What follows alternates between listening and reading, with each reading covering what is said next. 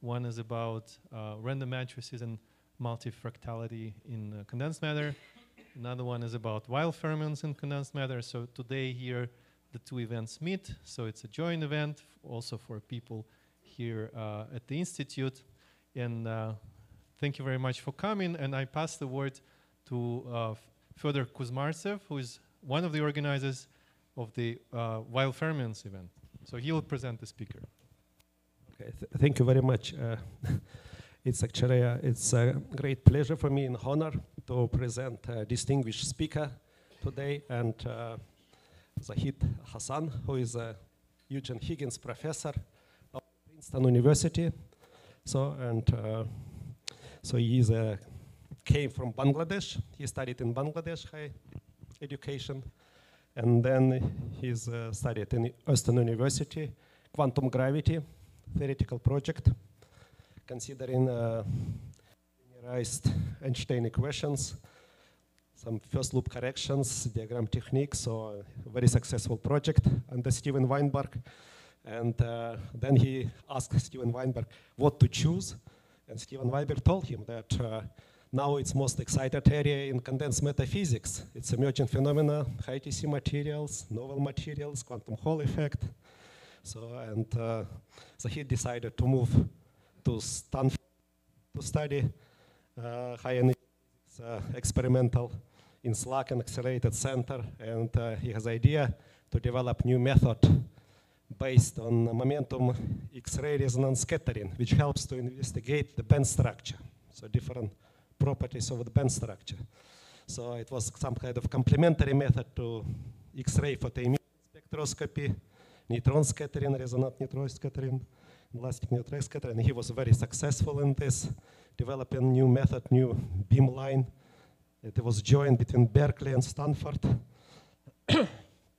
so then uh, after that, he got some postdoctoral fellowship, uh, distinguished Robert Dicke Fellowship in Princeton, but it was not very long. After one semester, he got faculty position in Princeton and uh, started his uh, research laboratory, right? And uh, developed research laboratory, which he is doing simultaneously both theory and experiments, right? So in some sense, it's STM what he's doing, MBE, molecular beam epitaxy. So then ARPES for the emission types, he can do samples in situ MBE, immediately check them. And the same time, he's doing many body DFT, which complementary different correlation function, response function, which people do the same time simultaneously for this material to get properties of this material and, uh, and to find what is most interesting, helps to understand physics. So and now he's 70 years in Princeton and has office uh, neighboring to Phil Anderson, Duncan Haldane. And so he has a lot of uh, con continued conversation and influence of these people and uh, he made uh, most uh, distinguished discoveries in condensed matter physics and was named as the most influential mind in physics for 10 some kind of breakthrough in physics. So I can very difficult to list all his discoveries in topological materials in Weyl semi-metals. So it's just uh, it's a very long list. His prizes. He was in Loughborough, give Mott lecture. That's what that's what we can do from our side to contribute his prices. And uh, so he has more, more than 40,000 citations. He has um, plenty of students. One of his students is already full professor in Caltech, another one in Harvard. So it's a lot of interesting stuff going on around. So it's great pleasure uh, to have him here. So and uh, uh, so so that's why I would like to give these words. He will tell us in, about latest uh, discoveries about these exciting directions, which I dedicated our program of these Weyl fermions and condensed matter. And uh, so when he is participating in, in this as well. So then he will give today one lecture, tomorrow will be another one from 1.30 in the same office. So it was some kind of joint from both programs, so everybody welcome.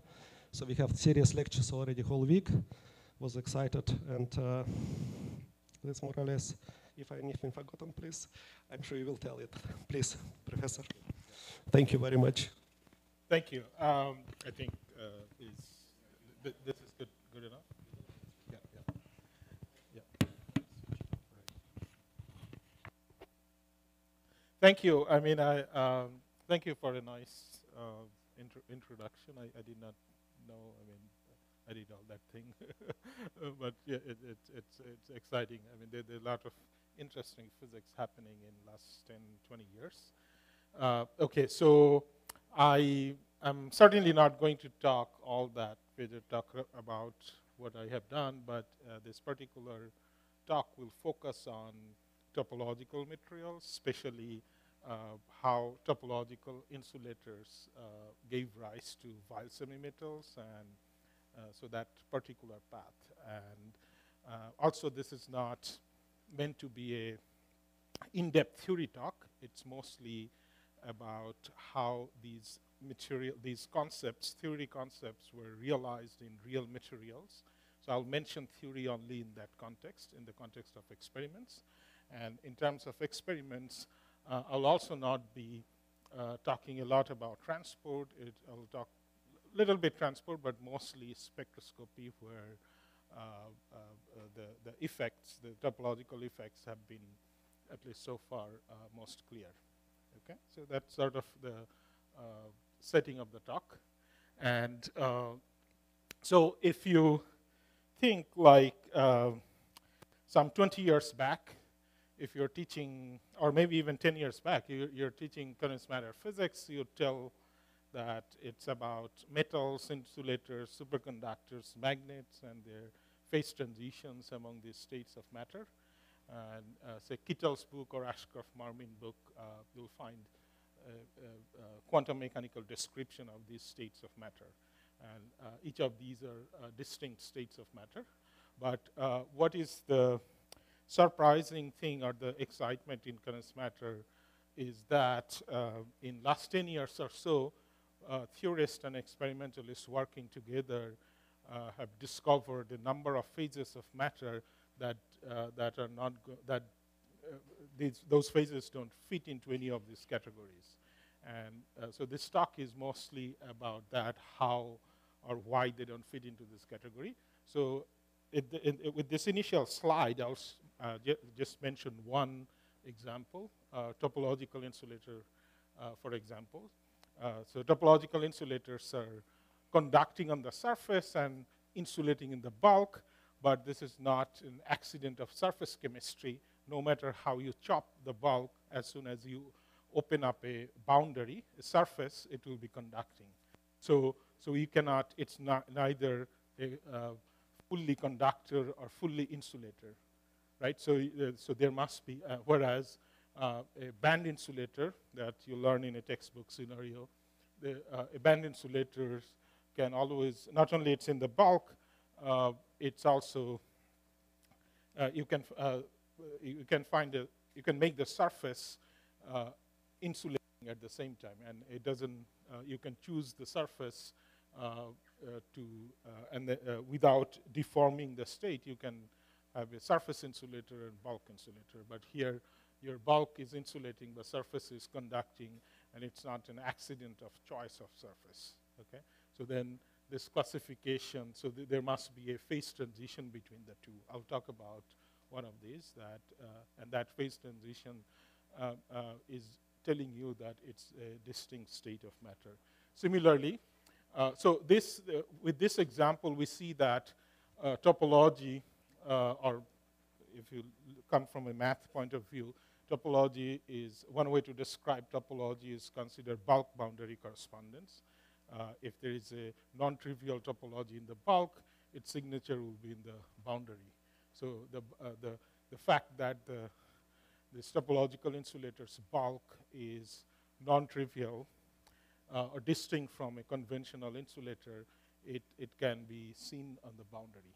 So this bulk boundary correspondence or bulk boundary uh, distinction can be applied not only to insulators, uh, to many other phases like magnets, semimetals, or superconductors. So then, so that means this classification scheme or this way of thinking about uh, states of matter is, is broader than that. It's, it's, it goes beyond uh, classifying symmetries uh, or spontaneously broken symmetries.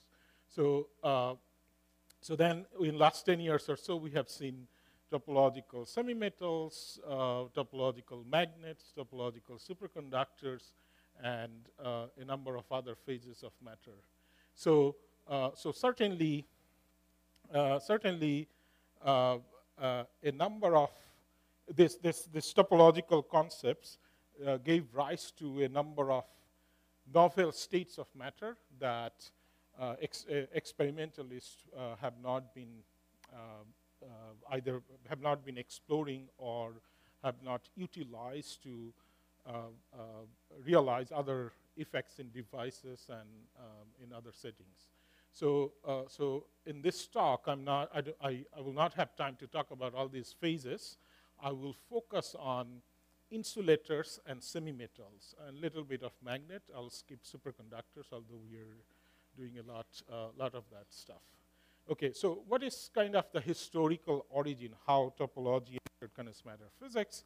This was highlighted by 2016 Nobel Prize, that uh, uh, quantization of uh, Hall conductivity, uh, this quantum number is actually a topological quantum number. And uh, in, the, in, the, in the context of the Hall measurements, Hall experiments, it gives you a counter of the edge state. So that's the boundary states. Uh, the, the bulk is insulating, uh, but the boundary is conducting. And this, uh, you can, uh, and this, uh, this quantum number is, it's related to the Berry curvature field of the occupied electron bands. So then, so it's, it's the bulk band structure essentially determining which of the insulating, which of the uh, insulating states will have a boundary mode. So why is this experimentally interesting? Uh, the original quantum Hall state, or which in modern parlance you can call it topological insulators in 2D, uh, is that uh, this this edge state, the, the, the, the, this edge conduction is a robust property of the system. You can have some degree of disorder or imperfection in the system, but the Hall quantization, quantization is extremely precise. And it's, it's uh, pre preci the precision level is like one parts in a billion. So that, uh, that was a very surprising thing when uh, quantum Hall effect was uh, discovered in the 80s. So this precision level is, the, the, this, uh, this level of precision is tied to the fact that uh, there is a topological quantum number, topolog uh, quantum number involved, and this uh, uh, edge state is topologically protected. Okay, so that's the beginning of the fun. and it took a, a decade or two to realize that uh, this topological quantization or topological effects could be uh, uh, could appear in different disguises or with different types of interaction. So in the quantum Hall physics, you apply a field and then you create a chiral edge state. You use your right hand or left hand rule, and that uh, that gives you uh, uh, that gives you a real space picture. Where is the edge current, boundary current, and where is the uh, bulk insulator.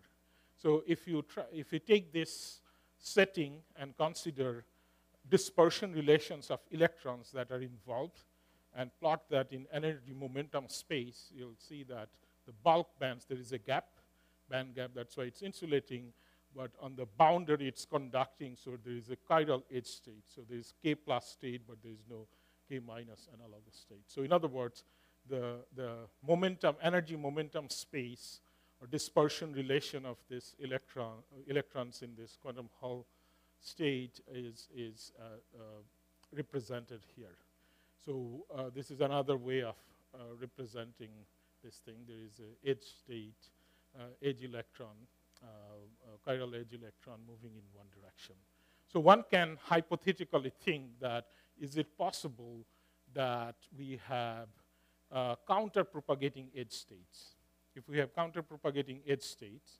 So here, this chirality is defined by the direction, uh, the, the fact that you have a magnetic field that gives you the, uh, defines your handedness of the system. Uh, this is why it's chiral. And now one could ask that, is it possible to have counter-propagating edge state? Uh, so that means you have field up and then uh, uh, edge states in one direction and then field down edge state in the other direction. But in that case, your net Hall conductivity, charge Hall conductivity is zero, right? Uh, but then uh, you could also, one could also think of two copies of integer quantum Hall state, but not through the real magnetic field, but uh, uh, uh, interaction that is already in the electronic band structure, the spin orbit interaction. Spin orbit interaction is the relativistic term where there's a dependent magnetic field-like interaction term, right? So then uh, is it possible that you have spin up going this way or spin down going this way? And is it uh, is such a state topologically protected. You can clearly see that it's not topologically protected by the Chern number, the, the, the, the, uh, interact, uh, the one I, I showed. Uh, it's got locked somewhere.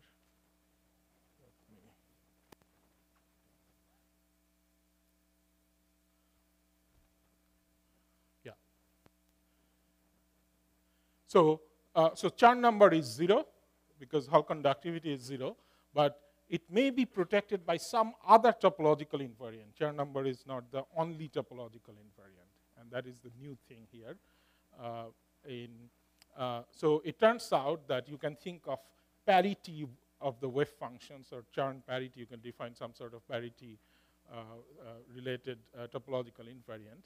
So it turns out it, that was identified by Kane and Mele uh, there's a Z2 invariant. It's related to the parity of the wave functions. It's not Chern number that's protecting this state. There is another new topological invariant that could protect such a state.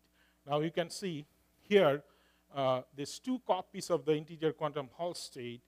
Uh, uh, this integer quantum Hall state breaks time reversal. Once you have a magnetic field, uh, the time reversal invariance is broken. But here you restore time reversal symmetry, and the Z2 invariant is related to that uh, time reversal symmetry. Now, this crossing, now you can see that the low energy degrees of freedom around this crossing is, de uh, is described by the Dirac equation. So that's how Dirac physics entered uh, topological materials. Uh, so it, it's this thing. Now, you can also think of uh, generalizing this state in 3D. Uh, uh, starting thinking of the integer quantum, thinking of generalizing the integer quantum Hall state in 3D, you would think that you stack them, then you have the chiral edge states, then the edge states become surface states, but that doesn't cover top and bottom, right? So, uh, but then here, the, uh, the, the, the, the, interaction term that is creating these states are spin orbit. So uh, spin orbit, we, we, for spin orbit, we don't, we're not choosing a direction. So the spin orbit interaction, uh, because of the spin orbit interaction not choosing a direction, we can uh, general, this can be generalized to 3D.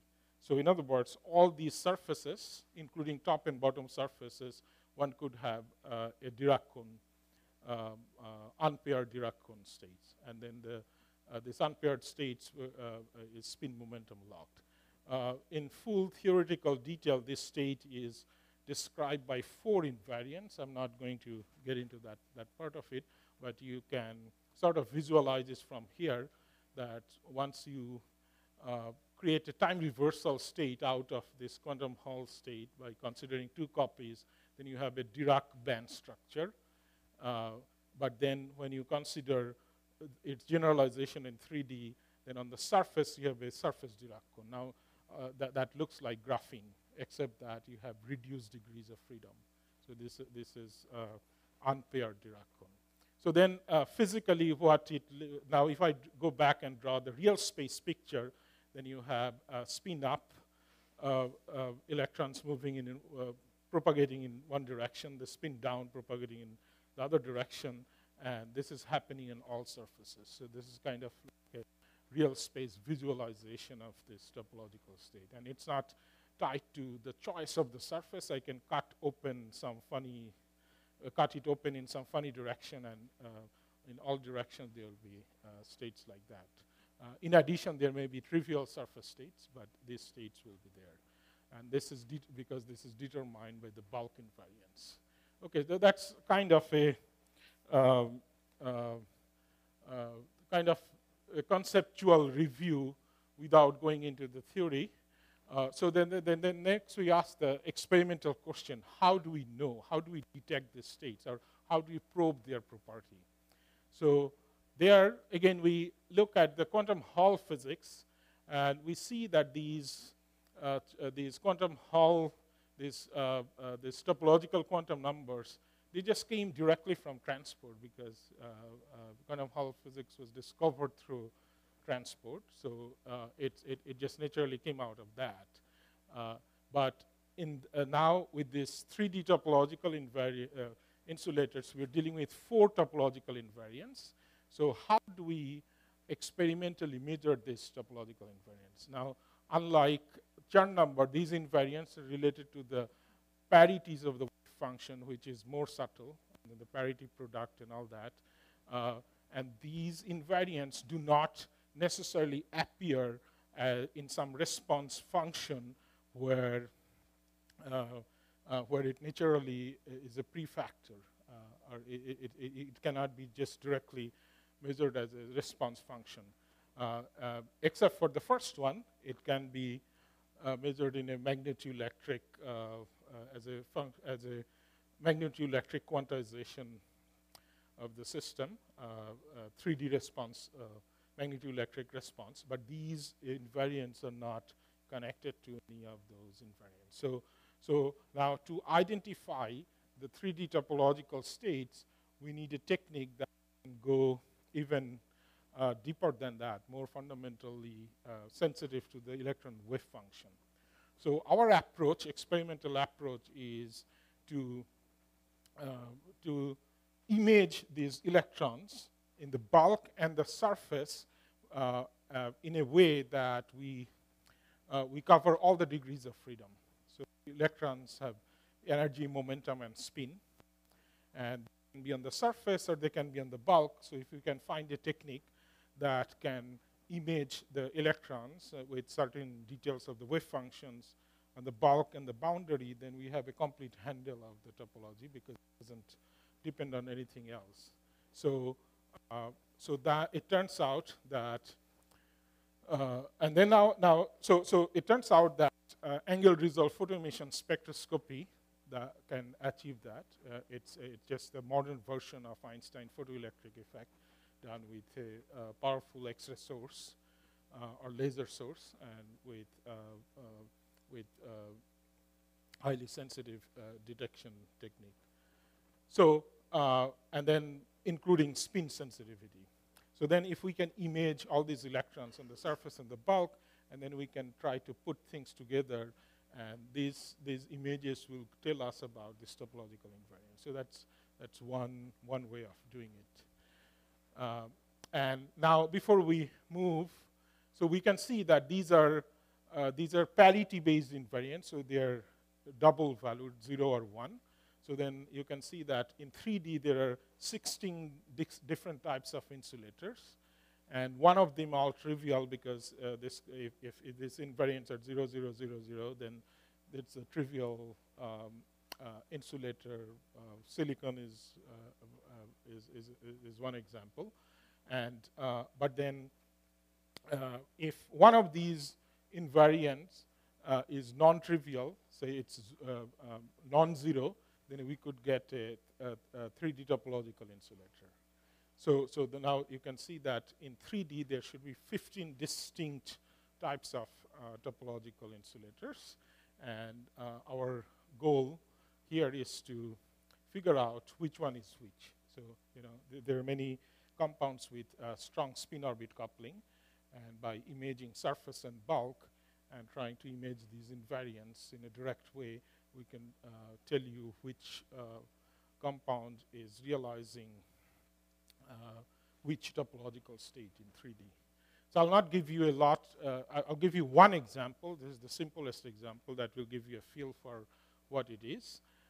So what we are doing here, this is one of the first 3D topological insulators, the bismuth selenide and telluride. In this case, if you look at the bulk band structure, you see it's superimposed on the, on the surface. Uh, you see there is a linear crossing. And if you just look at the Fermi surface, then there is a single Fermi surface in the inter-Brillouin zone. And each, uh, and then each crossing, uh, the Fermi surface, each point on the Fermi surface is singly polarized. And if we do a spin scan, then we see it's uh, polarization down and polarization up with respect to some reference, but what it matters is that uh, polarization is reversing as you uh, go around the Fermi surface. And you can see that if you, this is kind of like half Rashba. In a, in a Rashba case, uh, you have two copies of the Fermi surface, right? So when you have one single uh, copy of the Rashba, you immediately see that the, now the Berry phase is half of Rashba. In, in, in, this case, it's pi Berry phase. So there is something non-trivial about it. So then what we do, we uh, not only image these uh, surfaces, we also image the bulk, and then we also uh, image uh, um, uh, these states by scanning the chemical potential across the map. So what we see is that no matter who you, you place the chemical potential in the gap, you always have uh, these surface states. And, uh, and then their spin texture is, is reversed as you go through the Dirac node. So this guarantees that you always have uh, odd number of crossing uh, as you count from the center of the zone to the, uh, to the boundary. So then you have, you have a single crossing. And Okay, so then why is this interesting? So we, if we then draw the real space image, that k plus going to the, uh, uh, this wave packet to the right is, is spin down, and this is uh, spin up, and that's all we have on the surface. So now you can see that uh, uh, in, a, in a situation like that, you cannot backscatter. so this spin texture is not allowing you to backscatter. So this is, uh, this is one way the 2D surface state, 2D uh, electronic states on the surface of topological materials are uh, uh, uh distinct from other types of 2D electron gas systems. So this absence of backscattering, you can also see that in STM, and, and, and then you can map from ARPES Fermi surface to the STM uh, uh, Uh, uh, quasi-particle interference pattern. Okay, so then uh, how do we know that these, um, these, uh, these states exist outside the vacuum? So all these experiments I showed, they're, they're performed under ultra-high vacuum, and the surface is prepared in a special way. So one way to probe that, check that you have surface state is, is to do transport. Now, if you have sufficiently uh, bulk insulating topological insulators, your uh, transport signal will be mostly coming from the surface because only surface is conducting. And if the surface is conducting, then you'll see, uh, so it's a 2D electron system, 2D uh, electron gas system. So then you should be able to see the uh, Hall quantization. So uh, in the, in the transport geometry, your both top and bottom surfaces contribute. So then your half integer and half integer uh, add up to an integer. So then uh, if you do transport, you'll see this uh, integer quantum Hall effect. So, uh, so, so for that reason, I think when people studied these materials with transport, they never found anything that unusual because uh, you know integer quantum Hall is not a new thing. So, but this also highlights uh, why transport is not immediately telling you whether you are working with a topological insulator surface or with a, uh, with a conventional 2D electron system. there are finer checks, but then uh, it, it, gets more complicated. But this, for our, my purposes, what it is telling us that we're combining that with spectroscopy. We see that on the surface, we have a single Dirac cone. We can count the number of degrees of freedom, and then uh, all these numbers match up. So the primary evidence for topological nature of the surface state uh, is coming from the uh, from spectroscopy. You can also do more complicated transport to make a distinction. Uh, people are still trying to do many of that stuff. So now, um, as I said, the integer quant uh, quantum Hall effect is, is the first example of uh, topological states in 2D, at least. Uh, and uh, experimental point of view, uh, from experimental point of view, much of the quantum Hall physics is happening at low temperature with a high field, right? So what 3D topological insulators and materials brought us that you can access, you have access to uh, topological states without a external, without any external magnetic field and up to room temperature. This is one of the early demonstration we had that these uh, helical Dirac fermions, they survive up to room temperature and this, uh, their uh, backscattering is also uh, uh, uh, can be tracked. And, and then this also allows us to count the, the, density of states in the systems, and then we can show that they, they are, this is like half gas. So what, what, it is in, what is interesting is that now we can see topological effects at room temperature without magnetic field. And that uh, makes uh, the device or application community excited about these things because you, you, you, want to operate at room temperature without a field. So that's one of the reasons many people are working on it. So I did not go over uh, all the details of topological surface states. We have worked on some of that stuff, and this is uh, uh, detailed in this review article, uh, including uh, transport that, that uh, was happening back then. so um, but the, but the key thing to remember is that you have a single Dirac cone and there is a band inversion in the bulk. So, and then the band inversion creates uh, the topological twist. So I will connect that to the Weyl physics. Uh, for the rest of the talk, I'll show how uh, tuning a topological insulator uh, can uh, give rise to Weyl semi-metal physics.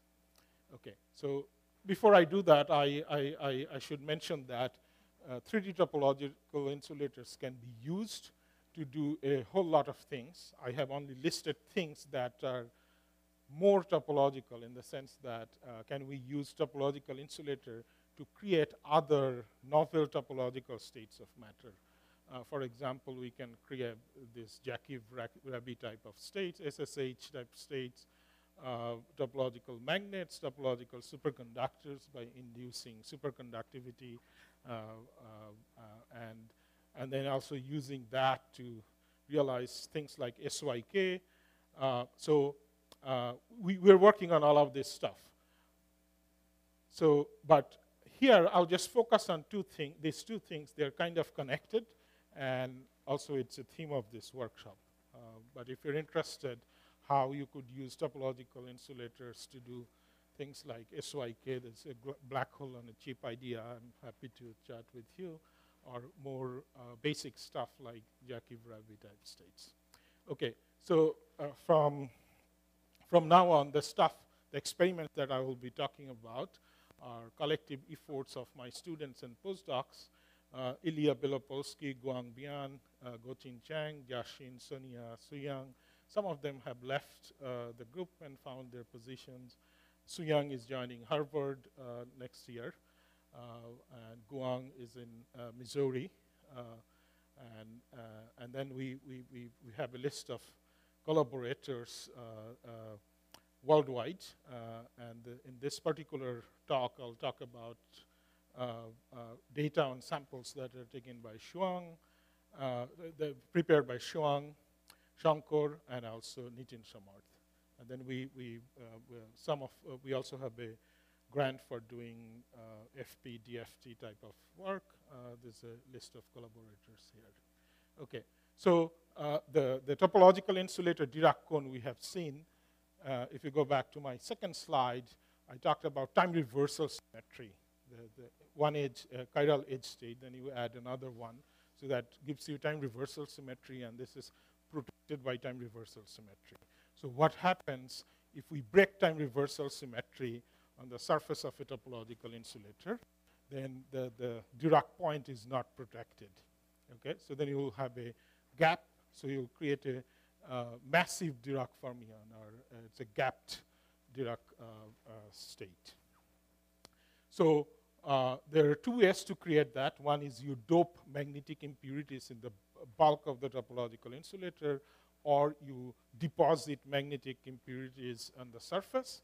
And we have done both, and we found that even if the magnetic dopants are not homogeneous, from spectroscopic measurements, we can tell that uh, there is uh, almost always uh, there is time reversal symmetry breaking affecting the Dirac cone in momentum space, which is interesting. It's not immediately obvious why that should be so because we're working in momentum space, k space, why we should see a nice gap, relatively nice gap when the magnetic uh, magnetic field is not necessarily homogeneous. But this is experimental fact that has been established. We, now we can see that there is a gap, gapping behavior here, and uh, the nice Dirac uh, uh, crossing is, is lost. And this is correlated with the fact that uh, there's a surface magnetization that uh, we can correlate with presence or absence of hysteresis.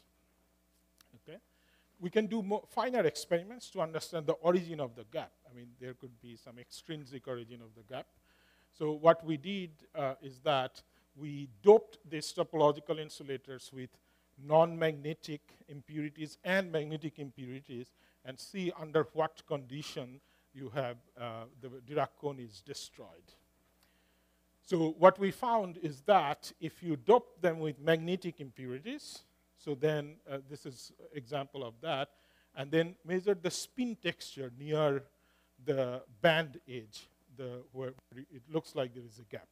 So we see that uh, uh, if you have a Dirac cone in the undoped topological insulator, the spin texture is like that. I showed uh, a few scans of that. But here, when you have, even if you have states here, the spin texture is different. For example, if you place your Fermi level here, there's a net moment on the Fermi surface, on the surface, on the surface Fermi surface, right? That is not the case in the topological insulator that is undoped. And uh, the, the way the spin texture is disrupted in the doped, uh, magnetically doped case is, has a characteristic uh, signature. And not only that, it also has a temperature dependence, so that is telling us that uh, it's related to interaction uh, that is involved.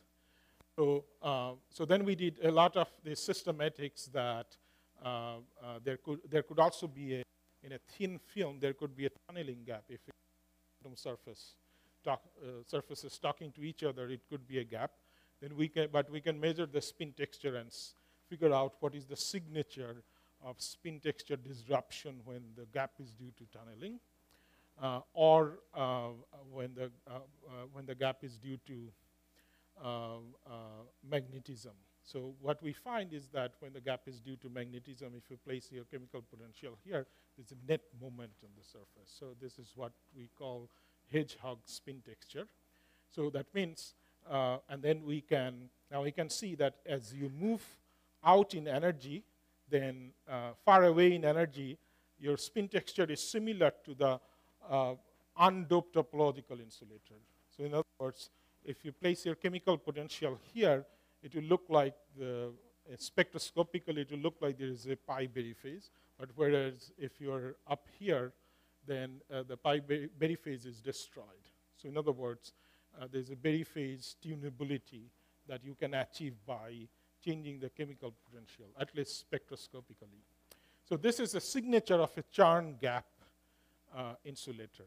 Uh, it, it, it's a characteristic thing of the Haldane model.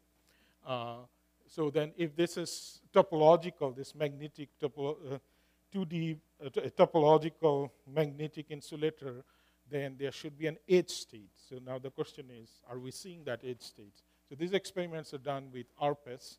ARPES is not good, good for looking at the edge state, but it can look at the surface state. Uh, but uh, so our signature is that this Berry phase tunability and the spin texture. And then later on, people have seen those edge states in both in transport and other uh, scanning probes, uh, probe measurements. Uh, we ourselves did not detect the edge, uh, edge state, but it's, it's, it's, it's a, a Chern gap state. Okay, so then how, how is this connected to the Weyl physics? So one way to think about it is that what we are doing to create the Chern gap state, we broke time reversal symmetric topological insulator, placed the chemical potential in the gap, and then uh, uh, spectroscopically probe the state. Now, um, we can also, there's other way of destroying the topological insulator state, or you could also say we start with a trivial state and then create, generate the topological states through uh, band inversion. So this is what we are doing here. So this is on bismuth uh, uh, based topological insulator where we are tuning sulfur and selenium. Selenium is heavy, it has large orbit. Sulfur has uh, weaker spin orbit. So then when there is stronger spin orbit, we see a topological state by spectroscopic measurement. And then when we go to the sulfur end of it, we see that there's a gap. The, otherwise, if it is topological, there would be a Dirac cone here. So in other words, in between there is a transition happening, a band inversion transition happening. If you like, you can call it topological phase transition happening. So the goal, experimental goal, is to detect that state. Uh, where this, what is the critical point? Why is this interesting? Because at that point, now there's a 3D direct cone in the bulk, because that's where the band is inverting, right? So we can trace that spectroscopically. Uh, this, this set of uh, uh images are better. So when you have a trivial band insulator, we see a Dirac gap. On the other end, uh, after the band inversion, we see an indirect gap. And in between, as we increase sulfur, selenium concentration, at some point we see there is a, a gap closing. And then by looking at the uh, kz dependence, uh, kx, ky, kz, we tell whether it's a 3D Dirac cone or not. So now you have a 3D Dirac cone. You, you can locate in these materials or, there, or in other related analogous materials. And then, um, now, the, the, the way 3D Dirac, Dirac and Weyl are related is that now you have to lift some degeneracy. You have to break some symmetry. Uh, so one possibility is you break time reversal symmetry. The other possibility is inversion symmetry. So, uh, so, then, uh, so then you'll get Weyl fermions. And if this is, if this is topological, then there will be a bulk boundary correspondence. Uh, in other words, these Weyl nodes will be connected on the surface by a uh, topological surface state. We will call uh, uh, that was called Fermi arc. Okay. So then, so one algorithm, experimental algorithm, would be to magnetize the Dirac critical point that will create a mass in the bulk, but then it, it will also uh, make the bands non-degenerate, and they cross and they will create Weyl, uh, nodes. Um, and then uh, the other possibility is to make heterostructures where you break inversion symmetry, or just look for analogous materials, crystal structures uh, in the database uh, where the inversion symmetry is broken. Okay, so then, uh, so then you you you'll get the Weyl emerging out of Dirac, and uh, this cannot happen in 2D because uh, uh, chirality is not a good quantum number in 2D. It's not Lorentz invariant quantum number. Anyway, chirality is a good quantum number uh, is, is, is, it's in 3D. So for that reason, uh, you can have massless Dirac fermions in 2D, but there is no guarantee that uh, chirality is a good quantum number. There can be a specific reference frame where it, it's accidentally good, but in general, it's, uh, it's not a good quantum number. So, so that's why with graphene type of thing, you never got to Weyl fermion. But with topological band inversion, 3D Dirac, you could get Weyl fermion. This is, in my view, at least from experimental point of view, is why topological insulator gave rise to Weyl, uh, which did not happen with graphene. Okay. Now, there is a long history of theoretical development, uh, how the Weyl equation is relevant for condensed matter. One of the earliest is by Conyers Herring, who was at Princeton at that time. There's a number of uh, uh, uh theoretical paper appeared after that. Uh, the most recent influential work is by Murakami and uh, Wan Turner Vishwanath and collaborators.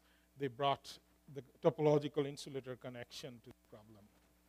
And uh, they suggested some materials where uh, the Weyl fermion experimentally they were not realized. And there are a number of other groups also suggesting materials where uh, this could be found, but it was never found. Early on, shortly after Ashvin's paper, I was also interested. Uh, we had a paper in a year later where we suggested that the experimentally the easiest way to find it would be to do uh, inversion breaking, uh, look for it in inversion breaking spin orbit materials. And then uh, I had my students and postdocs search in the database and they identified a number of materials that, uh, that, has, that fits the bill, the, the, the, the, the algorithm I described. And uh, similar Similar search was also done by other people in China and other places. So what is the main uh, idea? So this slide is kind of summarizing the idea behind, the, the algorithm behind going from topological insulator to file Weyl fermion. If you like, this is the key theme, uh, key idea of this talk, central idea of this talk. In topological insulator, you have seen that on the surface, you have a Dirac cone. So if you if, uh, if your surface, Fermi surface is, is a circle, right? Now imagine closing the band gap on two points. So then uh, in these two points, uh, uh now you have a, uh, you have a bulk band, bulk electrons degenerate with the surface electron. Now that your gap is closed. You close the topology. So this is one of the earliest questions I asked Charlie Kane that, okay, if I take a 3D topological insulator, I close the bulk gap, are surface state protected?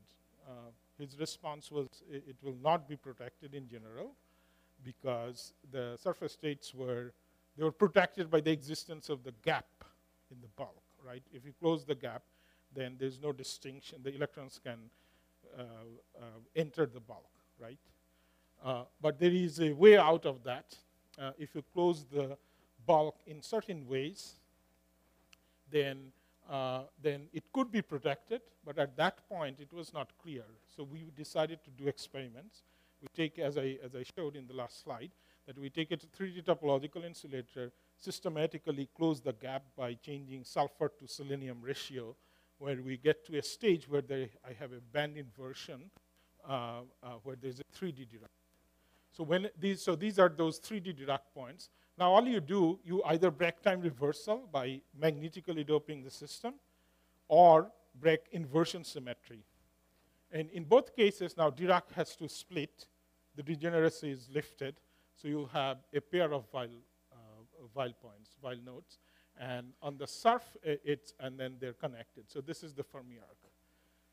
So having measured Fermi surface for many years, more, probably more than 20 years, I this, I did not believe this cartoon because uh, we, have, we have never seen Fermi surfaces that are uh, uh, kind of fractional on one surface, right? It, it, it apparently violates many ideas in um, basic math or quantum physics, right? So I did not believe that, even though this construction looks simple, I did not believe that this, we will actually see that in experiments. We, ha uh, we have to go and do the experiments and see whether there is a non-closed Fermi surface. It, it, uh, how, how is that possible? Okay, so the real materials are, of course, more complicated. It's not like my cartoon, but I will try to give you a feel how that relates to the cartoon. So this uh, tantalum-based materials, if you calculate, these are uh, calculations from my group, uh, if you calculate the, the surface, uh, Fermi surfaces, or surface state, surface state band structure, and uh, correlate with the bulk nodes, Weyl nodes, you see that uh, it has uh, many of those nodes. And, and so this, there are two nodes that project here on the surface, one nodes project here, is the chirality of the nodes that uh, are plus and minus uh, denoted by uh, white and black. And then, then we can also calculate how these, how surface states are connected to those nodes. Okay, so then when we do, do look at the surface, we see a number of these, uh, these states on the surface, and, uh, uh, and so now we have to close we have to closely examine their connectivity. So uh, how do we know that this Fermi surface, is this a closed Fermi surface or non-closed Fermi surface? What is our test? So one way we can do is that we can look at the energy scan, we can look at the dispersion relation and see whether these states co-propagate or counter-propagate. Let me uh, uh, move forward to show a cartoon first. So if, I, if I'm doing a, say, Rashba surface states, then I have a counter-propagating uh, uh, states at the Fermi level. Or if I am doing a topological insulator surface states, same thing, I have counter-propagating states. The Fermi velocity, uh, there's pairs of Fermi velocity possible. But if I have a co-propagating state, then if I uh, look at the uh, energy dispersion, they should be co-propagating. So only this type of co-propagating states will tell us there is a non-closed Fermi surface. Uh, this is not possible with topological insulator, Dirac surface state, or Rashba, or any other surface state. So we have to check in the energy axis uh, whether the states co-propagate or counter-propagate. So we take a uh, unconventional cut. We take a loop cut on the surf surface states, and we see that in the energy axis, they're co-propagating, they're not merging. And then the fact that they don't appear here is not an image plot issue. Uh, this is, uh, uh, can be repeated. Now, if this is the case, then we should be able to find the bulk counterpart, those that was on the surface. So what happens in the bulk? Uh, let's uh, back out here. So on the surface, we see states like this, arc-like states, but not so clear immediately. They're uh, non-closed. But if we probe the bulk band structure deep into the sample, then we see that the Fermi surface looks like two points uh, mostly. Uh, but certainly, it's very different from here. This surface Fermi surface, this is bulk Fermi surface. Now we can image how the surface Fermi surface evolves to bulk or bulk evolves to surface by changing photon energy. So, uh, so one of the things we want to check that if this is our bulk Fermi surface features, then how does it behave in the energy axis? We see that when we do the energy scan, we see these two um, Dirac-like thing. But when you look at the spin, they are single degenerate states. So in words, it looks like uh, there is a band crossing, like when you have a band inversion, but then they're somehow split degenerate. And what is interesting, these two points we see are on that, uh, at the Fermi level. Now, so this is what is happening in the bulk. And then now we can uh, put together the surface and the bulk. So this is the bulk, as, as I just showed. Looks like there are two points within resolution. But when you probe the surface, we look like, it look like there's something like this. So in other words, and then we can see that uh, these arcs where the, in momentum space within resolution where they terminate, that's where these uh, nodes appear. So in other words, the surface Fermi arcs where the states are co-propagating as opposed to counter-propagating, and they, they, uh, they, they match up to each other within experimental resolution. So here we're put, putting surface measurement and the bulk measurement together, and we can see that the where the arcs terminate, that's where the Weyl nodes are. And we know those are Weyl nodes because they, are, uh, they have a spin texture, they're non-degenerate. Dirac could be uh, degenerate, right? Dirac would be fourfold, and the Weyl node is twofold, okay?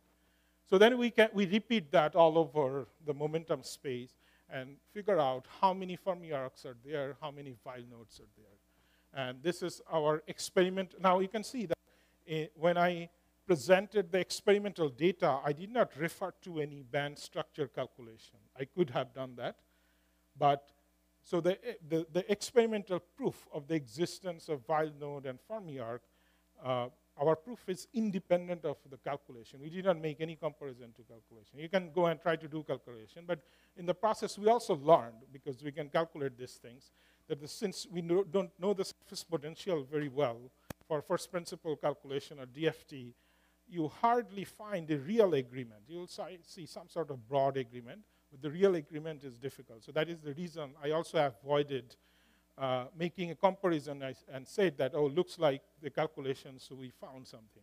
So I, I gave a proof independent of uh, calculation. Uh, uh so this is in the spirit of topology. The topology doesn't depend on the detail.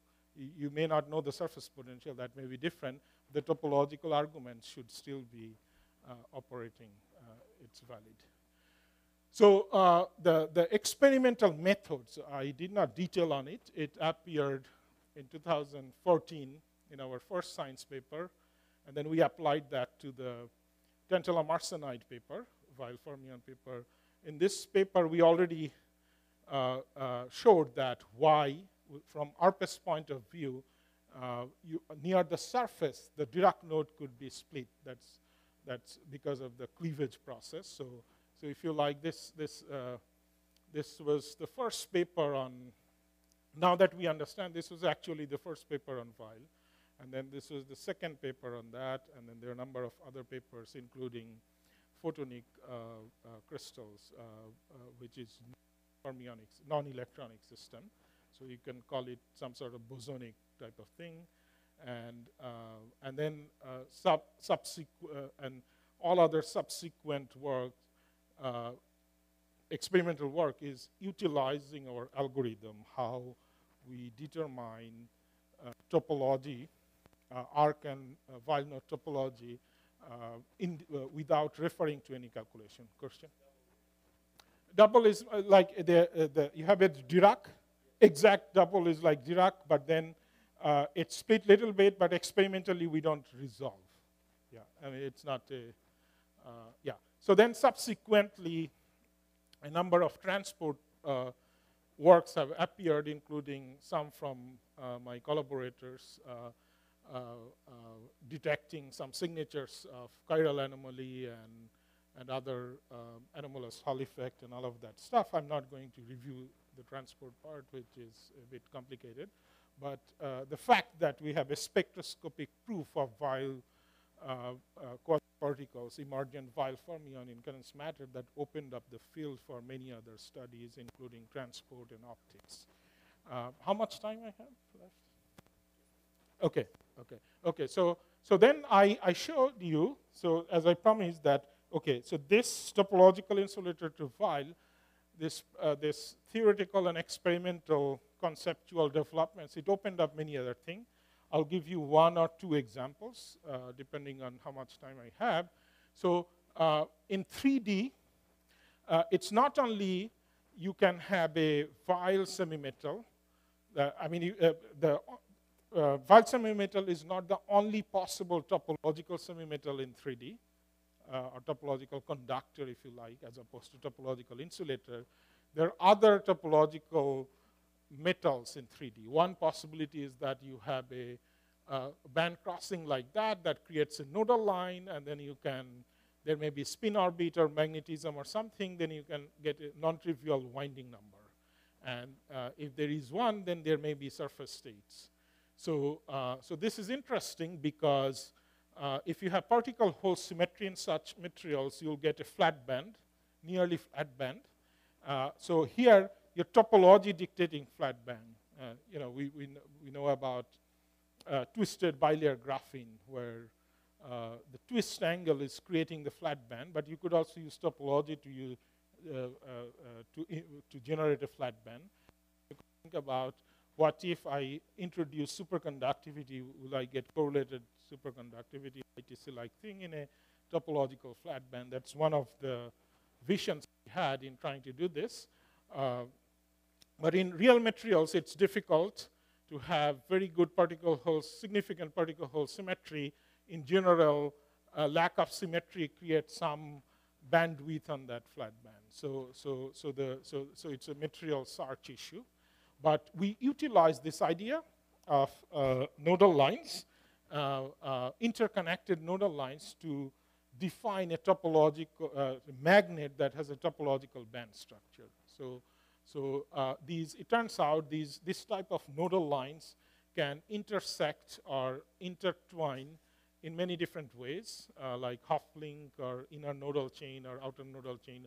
Uh, so how do we know these things are allowed? We can write down a model Hamiltonian and you find that this, there's nothing uh, forbidden there. Then you go and look on, uh, in some materials database and see whether this is realized in some material. This is what we're doing. First, we are conceptually defining that we want to find such a thing and what is what should be the corresponding band structure and can we find something similar in a real material so that is the idea and uh, so so we put forward this idea in this PRL uh, it's a theory paper from our group uh, that uh, by interlinking linking nodal line you might be able to find a magnet that has topological band structure in 3D and also operating at room temperature it's like our room temperature 3D topological insulator because that's for experimentalists, those are dream objects, right? So here we are trying to find a room temperature magnet that has topological band structure whose surface will have nearly flat band. So it's, uh, there's a lot of experimental excitement around that. But the theoretical algorithm we uh, was laid out here. I'm not going to go over the great details of the actual band topology. As I said, that in real materials, uh, there are many bands. It's very complicated. So I'll, I'll sort of conceptually uh, guide you through the data. So what we are looking for is that a nodal line like this, on each node there's a Dirac point or a Weyl point. A, a, uh, uh, uh, either one will do. And then these, the, since these are topological objects, they're connected on the surface. So these uh, surface states will create some sort of drumhead-like states, uh, uh, has been conceptually put forward. So then, then we, uh, as I said, that then we found the materials database, we found the materials that, that uh, fits the bill. Uh, it's not exactly what we're looking for, but something close. And we find such nodal crossing by scanning the 3D band structure uh, with ARPES te technique, you can see that when the, it's crossing, this is, creates a point. Otherwise, so you're seeing this thing here, and here you're seeing this thing, then you see a dot, and then you see this thing. Oh, so I'm, I'm, I'm, sh I'm showing, on this slide, I'm showing band structure in 3D, kx, ky, and this, this is vertical axis is the energy axis. And then I'm showing experimental data, kx, ky, and this is the binding energy, you can see. So, so I'm scanning here. So when I'm up here, this, uh, this is corresponding to this energy, I see a band uh, like this. This is that. And then when I go cut, k space, an energy space cut, and then I, I go down in energy, in this energy axis, then I see a, uh, here I see a dot. So it's that dot. And then here I see this is, it has opening. Right. So we want to see in these materials, right, what is the band topology? Is there a Weyl node hidden in the band structure? Some, something, yeah, yeah, yeah. So we see that there is a crossing. So in other words, there's a zero mass object in 3D. So it's, it's a Weyl node in 3D.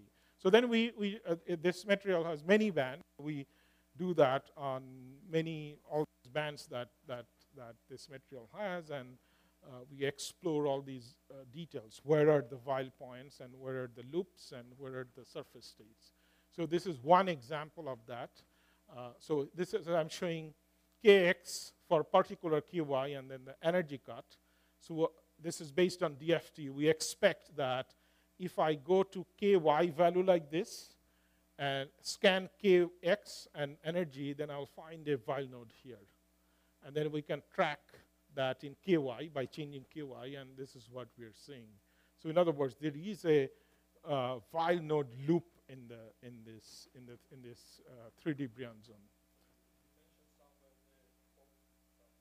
Yeah, we in this compound, in this compound, uh, I'll show that instead of Hopf, we are finding chain link. The, the, the Hopf link is not realized. That was in theory, but in experiment, real experiment is the potential is never the same. So then here we found that it's like nodal link uh, rather than Hopf. Yeah, I'm coming to that. So then we can probe, we can isolate the bulk band structure and the surface band structure by probing their z, kz dependence. If, if something is not kz dependent, then it's surface.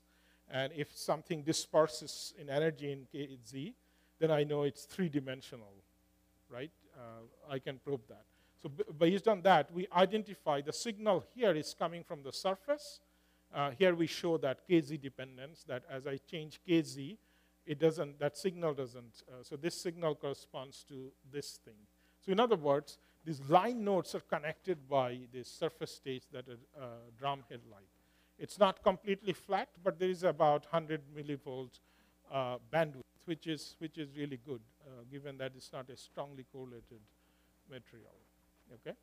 So now, so all of that is ARPES, mapping out the Weyl node and all that. And all these Weyl nodes will contribute to transport. So now we are trying to see what we measure in spectroscopy is there is that a crazy thing or there is a connection to transport. So one thing we can do, we can take the ARPES band structure, these 3D Weyl nodes and loops, and optimize the DFT because now I have the parameters from the real material. And then once we do the optimization, then I can calculate the Berry curvature field, kx, ky, Berry curvature field. Uh, and then now I can calculate transport properties because the Berry curvature field is related to anomalous Hall effect, intrinsic part of the anomalous Hall effect. Also from experiment ARPES, we know where the Fermi level.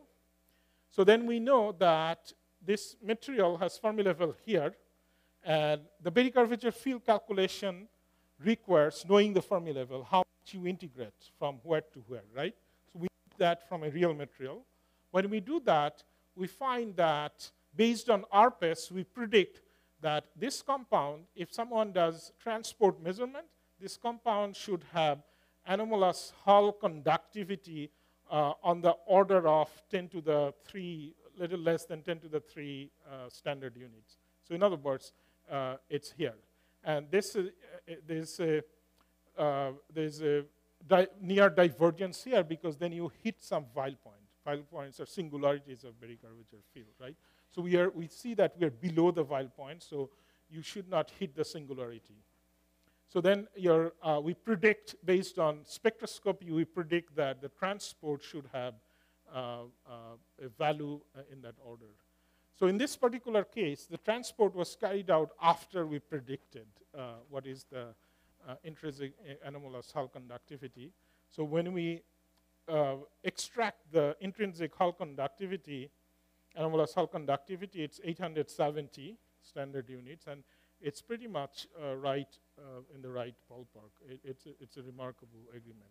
So the reason I show is that spectroscopy has reached a point, it has advanced at a point that now we can take all these relevant parameters and predict transport, not only just top, uh, image topological order, topological invariance, we can also uh, predict transport. And in the historical sequences that people would do some transport and then spectroscopy, do, try to do some spectroscopy to figure out the microscopics, what is happening in the system, why transport is the way it is. Here we are now reversing the direction that the spectroscopy has advanced so much that we can predict certain types of transport. This is uh, not just one example. We have more examples. I don't have uh, time to get into that. Um, one minute? Okay, I'll, I'll, take a minute. Thank you. So, uh, so this is my final one-minute topic. So, what we have seen so far, these Dirac bands, massive Dirac bands or Weyl points, all these things create uh, uh, un unusual transport behavior, some uh, or optical behavior, right? So then here we were motivated by the fact that can we find materials where there is Dirac physics, Weyl physics, massive Dirac band. You know, in the last example, I was searching for a flat band so that it has strong correlation, many body effects, right? So it turns out Kagome magnets are ideal for that. Uh, uh, even just by the lattice connectivity, lattice network, you have both Dirac fermion and flat band, right? Now, if you have a, uh, if you have magnetism, especially out of plane magnetism or some component of out of plane magnetism, those Dirac fermions, that time reversal symmetry will be broken, you'll open a gap. So in other words, you'll have a natural topological magnet realized in a Kagome magnet. And if you lower your chemical potential here, you'll find flat band. You don't have to do, go to the drumhead and nodal loop states, right? So, so uh, for that reason, searching for Kagome magnets uh, could give us, uh, lead us to uh, interesting new physics. So, so this is one direction where uh, you could spontaneously, naturally realize. In the first example, I showed so much uh, materials and band engineering to realize a Chern gap magnet. Here, it might just spontaneously, it might already be there in the material. And uh, same thing here, the flat band could be there. So, so we probed this system with uh, our STM uh, measurements, and I, will not go into that, but I'll, I'll tell you that now we reached a point where it's not described by conventional topological theory uh, anymore. Uh, we're starting to find things where we're breaking out of that paradigm. So, so far I gave you a number of examples, topological insulator, Weyl semi-metal, there's a standard theory framework. What was lacking is that uh, can we find a material realization and see that? Now we are reaching a point, we are departing, we are taking off to a direction where we are finding things that are not falling into the paradigm. So this one example of that in this Kagome magnet. You can see the Kagome magnet has six-fold symmetry, lattice, right? So then your electronic states, or your uh, electronic structure should be six-fold. But what we see, since the time is short, what we see that it has a two-fold symmetry. So that reminds you of some sort of nematic order. And nematic order is not new. It has been seen in superconductors or uh, other uh, correlated electron systems. It's a signature of co strong correlation. But not only that, what is new here, unprecedented, is that here, in this case, we can control the nematic order direction. So we apply, this is without any field, b equals 0. Here, when we apply a field in certain direction, we can see that we are uh, controlling the nematic axis. So that, that is unprecedented. No other correlated system we know of where you can control with a modest field, or any field, you can control the nematic order direction. And then when you apply a, a strong out-of-plane field, your six-fold symmetry recovers. So then there's some sort of phase transition happening uh, into this correlated state. And then you can not only that, you can also reverse the direction. So this is, uh, in my view, is the first example in topological materials where we are breaking out of the theory paradigm. We don't have a clear-cut theory how to model this system, what is happening, because now strong interaction is involved. So it's an example of many-body physics in the presence of a topological system. So there's another puzzle about this system that, uh, as I showed, in the Chern magnet, 2D Chern magnet or topological magnets, we, if we apply a field, then the gap opens, and the, the larger the field, the gap is larger, right? Here we see that as we, there was a gap in the um, unperturbed material. Uh, there was a gap in the ground state, in, in, in, I mean, gap in the band structure.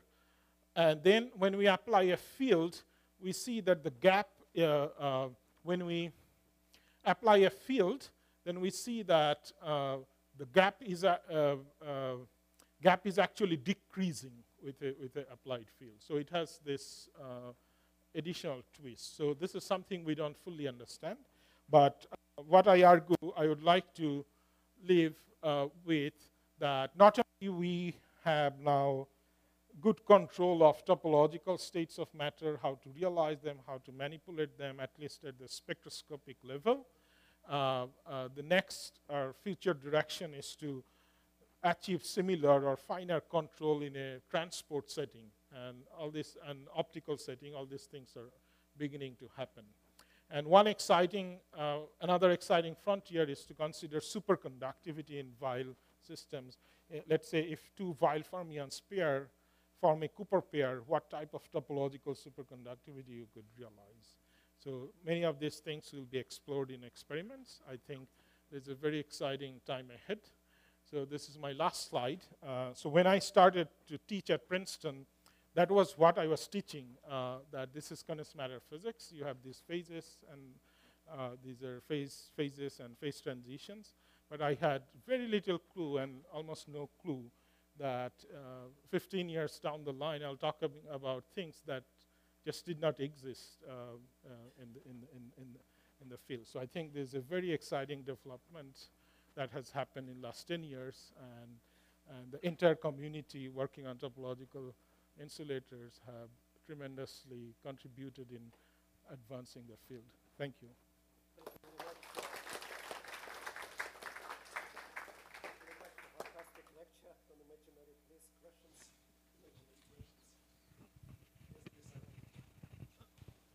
Okay. Uh, uh, analyzed the plateau Hall effect on surfaces? Of course, but